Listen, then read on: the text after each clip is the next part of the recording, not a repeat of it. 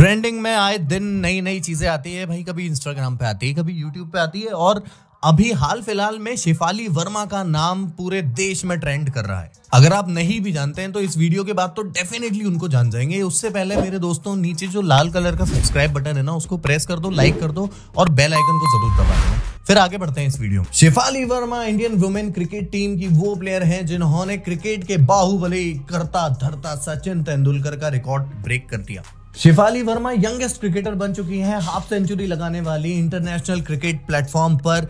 यह खिताब पहले मिस्टर सचिन तेंदुलकर के पास में था, लेकिन अब शिफाली वर्मा के पास में है। हरियाणा से आई लड़की जिसने खुद को इंटरनेशनल क्रिकेट में खेलते देखने का सपना देखा था। शिफाली वर्मा रोहतक, हरियाणा की रहने वाली हैं। और जिस जगह से ये आती हैं, वहाँ पे मेंस स्पोर्ट को तो बहुत ज़्यादा सपोर्ट करा जाता है, लेकिन जब शेफाली वर्मा ने अपने क्रिकेट की जर्नी शुरू करी थी, तब इतना सपोर्ट वुमेन्स क्रिकेट को मिल ही नहीं पाता था। ये मेरा कहना नहीं है, ये कहना है खुद शेफाली वर्मा का, जिन्होंने बहुत छोटी उम्र से क्रिकेट से दिल लगा लिया था। लेकिन हमारी सोसाइटी को प्यार रास कहाँ आता है? बन गए क्रिकेट और शेफाली वर्मा के प्यार के बीच में दीवार। लेकिन इस दीवार को तोड़ने के लिए शेफाली वर्मा का कॉन्फिडेंस और उनके परिवार का सपोर्ट ही काफ़ी था। 10-11 साल की उम्र से ही शेफाली वर्मा ने क्रिकेट में अपनी जर्नी चालू करी थी। लेकिन दिक्कत तो वहाँ आने लगी थी जब मेंस क्रिकेट को तो सपोर्ट करा जा रहा था, लेकिन वुमेन्स क्रिकेटर को इतना भी सपोर्ट नहीं था कि मेन क्रिकेटर्स के साथ में प्रैक्टिस कर सके अपने गेम की। शेफाली वर्मा ने इस किस्से से जुड़ी एक कहानी सुनाई थी, वो कहानी मैं आपको सुनाता हूँ, जिसमें शेफाली वर्मा के भाई जो थे, वो क्रिकेट खेला करते थे। एक दिन बीमार पड़ गए और क्रिकेट खेल नहीं पाए। तो शेफाली वर्मा ने सोचा, क्यों ना मैं जाकर भाई की जगह क्रिकेट खेलूं? तो उन्होंने अपने बाल खुद ही बॉय कट करवा लिए।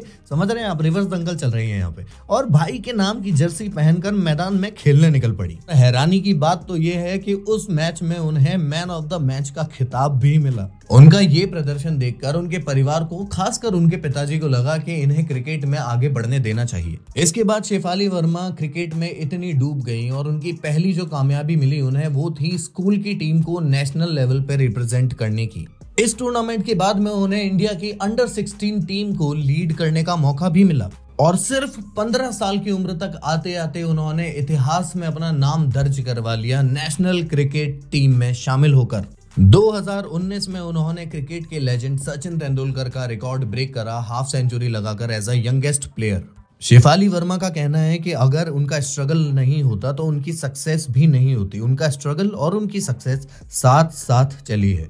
पैसे की दिक्कत हो, चाहे परिवार की दिक्कत हो, चाहे सोसाइटी की दिक्कत हो, लेकिन उनकी मेहनत में इतनी ज़्यादा सच्चाई थी कि उनकी जरूरतों की चीज़ें उन्हें मिलती चली गईं। शेफाली वर्मा इंडिया के लिए बैटिंग ऑलराउंडर पोजीशन पर खेलती हैं।